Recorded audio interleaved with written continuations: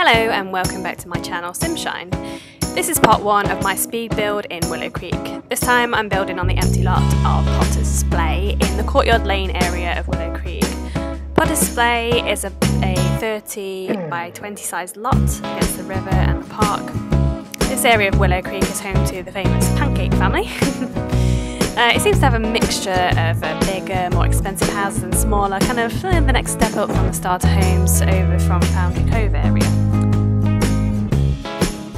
With all this in mind, I wanted to create a house that would fit in in this area of Willow Creek, so I went for the sort of extended shotgun style house look, you know, with the wooden panel outer walls, uh, wooden windows and shutters, decorative columns and arches, and the sort of long rectangular shape.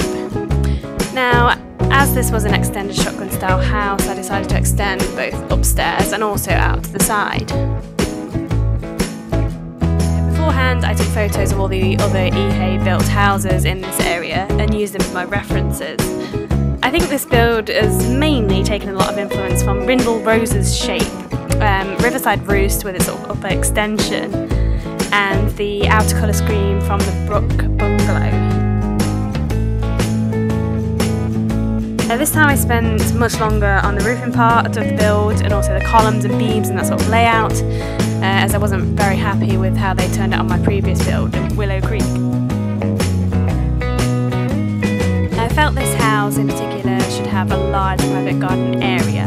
It's also the added advantage of the upper balconies overlooking the beautiful riverside and the parkland surrounds. Again, like before, I decided house should be built using entirely base game items, build things. I know those eagle-eyed ones will probably notice that I use the path um, from the Get Together pack. I didn't realise this later on and I decided to remove this. Uh, one thing that slightly caught me out when I went to go and upload to the gallery. in the end, um, I did spend a lot of hours on this house with detail. Since this build is in two parts. I will be uploading part two next week. So until then, I hope you enjoyed the speed build so far, and thanks for watching.